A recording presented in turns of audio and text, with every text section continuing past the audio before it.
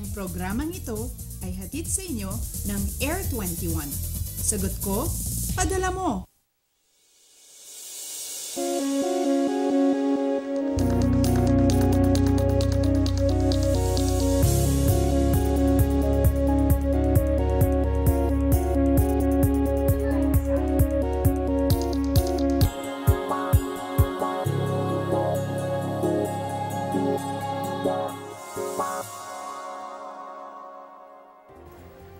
Happy Midweek Pilipinas! Kamusta ang gising nyo? Ready na ba ulit sumabak sa trabaho? Bago lumabas ng bahay, mag-recharge muna at kumain ng masustansyang almusal habang ina-update ang sarili sa magiging lagay ng ating panahon. Kahapon nga mabibigat na mga pag-ulan ang naging epekto nitong binabantayan nating bagyong agaton sa ilang bahagi ng Visayas at Palawan.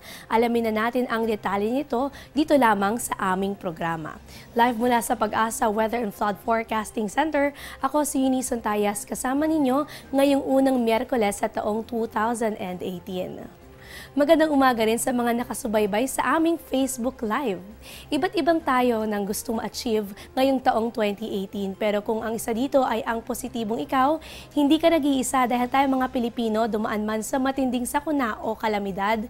Kahit anong bagyo sa kabila nito, kaya makabangon at maging masaya. In fact, sa ginawang Gallup International Poll, tayo pa rin ang nasa third happiest countries of the world. Kaya naman rise and shine, ang sunrise natin asahan yan 6 6.22 a.m. habang ang sunset naman is 5.39 p.m.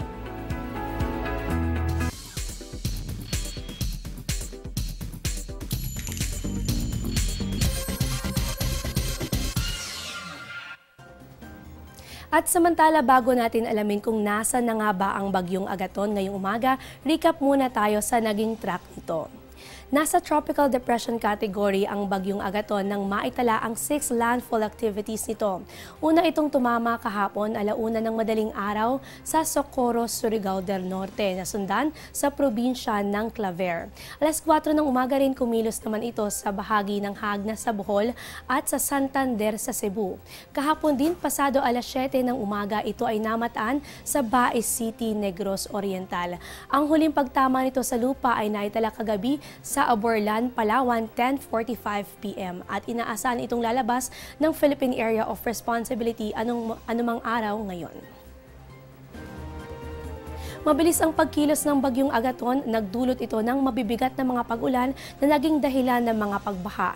Kitang-kita ito sa video na kuha ni Kaugop Lari naabot binti ang baha ang naitala sa Tacloban. Gumamit na rin ng bangka ang mga residente sa pagtawid sa bahang kalsada.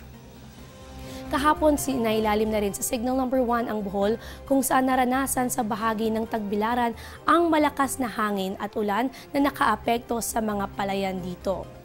Malakas na hangin at mga pagulan din ang nagdulot ng malakas na daloy ng tubig sa waterways sa bahagi ng Cebu at ito ay kuha sa video ni Ian Burgado. Sa Buhay Camarines Sur naman, naranasan ang malakas na bugso ng hangin dala ng bagyong Agaton. Napakalakas naman ng ragasan ng flash floods itong nasa video ni Randy Borja sa bahagi ng Kawayan, Biliran Province. At dahil baha sa kasada ng Bais, Negros Oriental, hirap nang makalampas ang ilang motorista dito. Dahil sa malakas na pag-ulan, tumaas naman ang water level sa Aklan River. Bukod pa rito, pinapamangambahan din ang lalong pagtaas ng tubig dahil naman sa high tide. Samantala, detalye dito sa Bagyong Agaton ating alamin sa aming pagbabalik.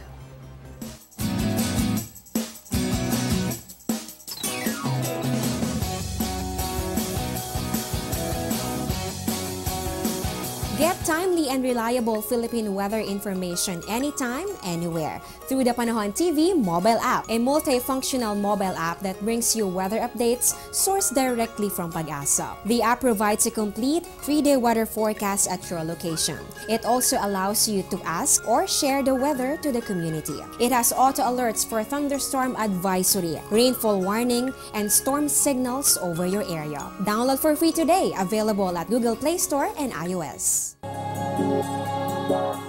Podcast.